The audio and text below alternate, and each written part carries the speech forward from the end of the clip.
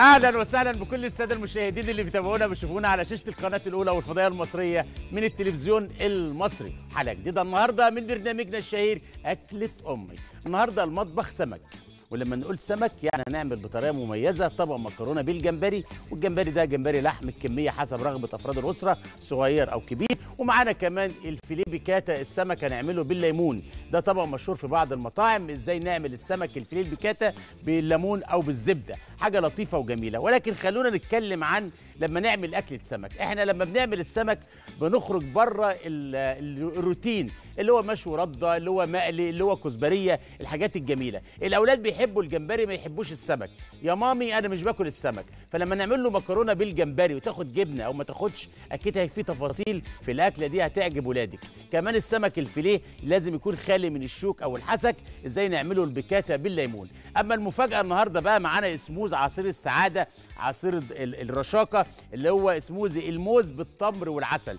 أكيد الموز مش محتاجين نتكلم عنه غني بالبوتاسيوم التمر قيمة غذائية عالية جدا وسعرات حرارية العسل غني عن التعريف. الثلاثه يجمعهم تلج وحليب ويبقى السموزي بتاعنا لطيف وجميل بيناسب كل أفراد الأسرة الصغير والكبير. مش عايز أطول لحضراتكم لأن عندي تفاصيل كتيرة في الحلقة النهارده. أي نعم الماتيريال بسيط وسهل ولكن الخبرة العلمية والطهويه هنا طبعا هيكون لها دور كبير جدا.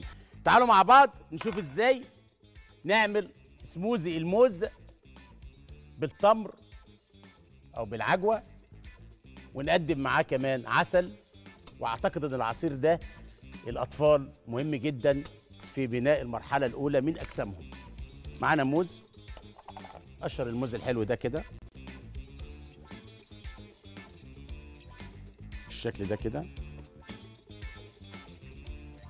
كتير أنا شخصيا من الناس ديت مش بتحب تاكل الموز كتير يعني. أحب أشربه مع لبن مع لوز مع زبادي. إنما يعني أمسك صباع الموز أصطدم إن هو بقى ما فيهوش سكريات فيه حموضة الموز ما يكونش مستوي الجو ده أنا مش بحبه. آه. فأنا بحب دايما العصير الموز. بأشكاله بقى. بآيس كريم ماشي. مع حليب ماشي. مع شوفان ماشي. آه. مهم جدا. معانا شوية حليب. والحليب هنا يكون حليب مثلج. الله على الصوت. حلو. خلي بالك لازم يكون هنا المعالي اللي بتستخدميها وكل أدواتك اللي بتستخدميها بعيدة عن البصل والثوم.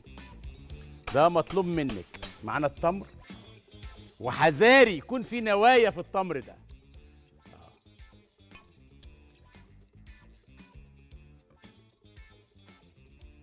نحط الطبق كله براحتنا زي ما إحنا عايزين. ننزل بالعسل. ويجعل أيامنا كلها عسل يا رب. أعتقد إن العصير ده فوائد بتاعته كتيرة قوي. لا تعد ولا تحصى. إحنا مش مستنيين حد يتكلم عن العسل وفوائده أو عن التمر وفوائده. الموز آه. رياضيين أطفال كبار سن صغار سن. آه. العسل كله نزل. آه. حلو قوي الماء المثلج. كل الحاجات دي وعلى فكرة ممكن تحط الموز قبل الاستخدام في التلاجة أو في ال deep freezer كمان. والتمر برضو تحطيه في التلاجة. يعني تريحي نفسك إنك يكونش عندك مكعبات من التلج. آه. دي وسيلة إنك تعمل لي سموزي. إيه هي الوسيلة يا عم الشيف؟ التمر ده يتحط في ال deep freezer شوية يتجمد يبقى واخد برودة عالية. الموز نفس الطريقة الحليب نفس الطريقة. وبعدين تخلطهم كلهم في قلب الخلاط زي ما أنا هشغل الخلاط كده دلوقتي. آه.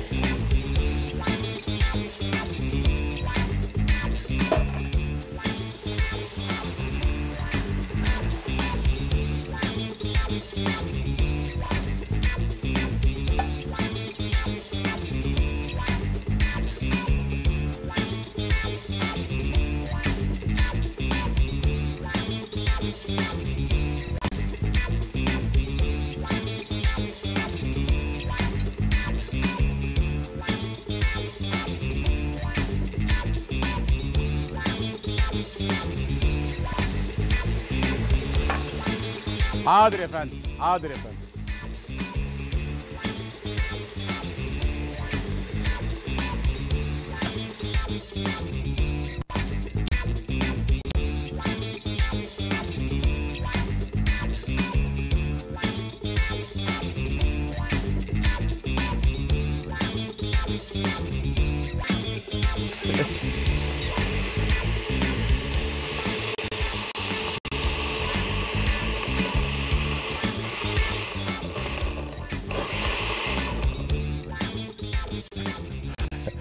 خلي بالك لازم يكون عندك خل... خلاط مالي إيدك منه خلي بالك إن في تمر في موز في حاجات كده حركات جوه الخلاط خلي بالك. وحذاري يعني أنا ساعات لما كنت بشتغل نلاقي نوايا طالعة لك ده رزق بقى تبوظ لك كل شغلك ده خلي بالك آه.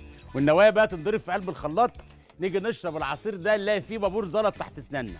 جاء منين؟ ما إحناش عارفين هي نوايا. حلو الكلام؟ آه. الله إيه الحلاوة دي يا عم الشيف؟ ألف أنا وشفا للي يشرب. في كل العناصر الغذائية. الأم الحامل الشاب الرياضي الأطفال في المراحل الأولى من عمرهم كبار السن ممكن نقلل هنا شوية السكريات التمر مثلا حسب الرغبة مفيش أي مشكلة. لو في كوباية ثالثه كنا عبينا كمان. حلو الكلام؟ زي الفل عادي. حلقتنا النهارده فيها تفاصيل فيها خبرة طهوية فيها ثقة.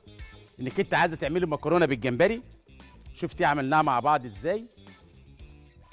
أهم حاجة إنك أنت تحط السوائل تبقى في نسبة وتناسب عشان المكرونة في الآخر يبقى فيها نسبة الجوس اللي أنت عايزاها وأنت بتعملي المكرونة تكوني رسمها في ذهنك. عايزة تعمليها إيه؟ في الفرن. أنا عملتها اختيار اخترت حضراتكم إن إحنا نعملها على عين البوتاجاز أو ندخلها الفرن. عملنا عصير بتاعنا جميل سموزي بالتمر مع العسل. جميل جدا على فكرة وفي أطفال كتير وأنا منهم مش بحب آكل الموز دايما أحب أشربه كعصير. معانا السمك الفيليه القشر بياض ده قشر بياض على فكرة عملناه بيكاتا ممكن نعمل الفيليه البلطي بس نختار السمكة اللي هي وزنها 500 جرام فوق 600 700 مفيش مشكلة. بناخد الفيليه بتاعها ونشتغل بنفس المدرسة. بس خلي بالك البلطي فيه شوية حسك زيادة فكوني حريصة في إنك تنقي منه الشوك أو الحسك بطريقة كويسة. تفاصيل صغيرة في أكلة سمك النهاردة. ما فيهاش تكلفة ولا حاجة فيها خبرة طهوية فيها وقت قليل جدا في المطبخ. بس عشان إحنا هوا فكسرنا من الوقت وقعدنا نتكلم مع بعض شوية. ولكن لو أنا مع نفسي دخلت المطبخ أعمل الأكل ده زي ما قلت قبل الهوا بالظبط 10 دقايق وأحطهم على النار وأطلع بره أشوف لأي شغلانة تانية. رؤية فن إبداع بنشوفه كل يوم على شاشة القناة الأولى والفضائية المصرية من ماس بيرو.